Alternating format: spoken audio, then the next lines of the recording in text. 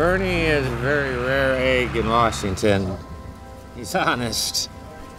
Fights for little guy even when it's not in his own best interest to do so. In the middle of my period of time where I was ineligible for insurance, I was rushed to the emergency room. When it was all said and done, I was looking at about $40,000. And I didn't know how I was going to pay it.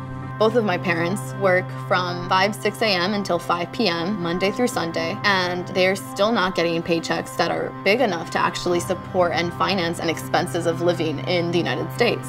Trump came in saying he was going to fight for workers, he was going to make sure that manufacturing stayed in the country, and they've all gone. They've all left.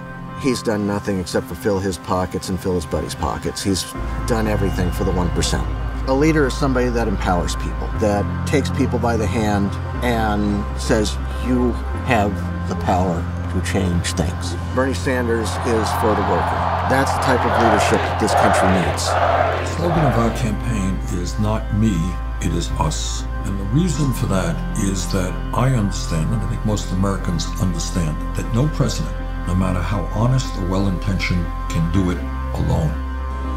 That we need tens of millions of people to stand up and fight for justice and have the courage to take on all of the corporate elite because they are so powerful that no president can do it alone. This movement isn't going anywhere.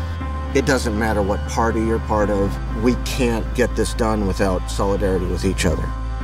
Truth is that if young people and working people become engaged and vote in high numbers, there is no way that the billionaire class will retain control of our economy and our government.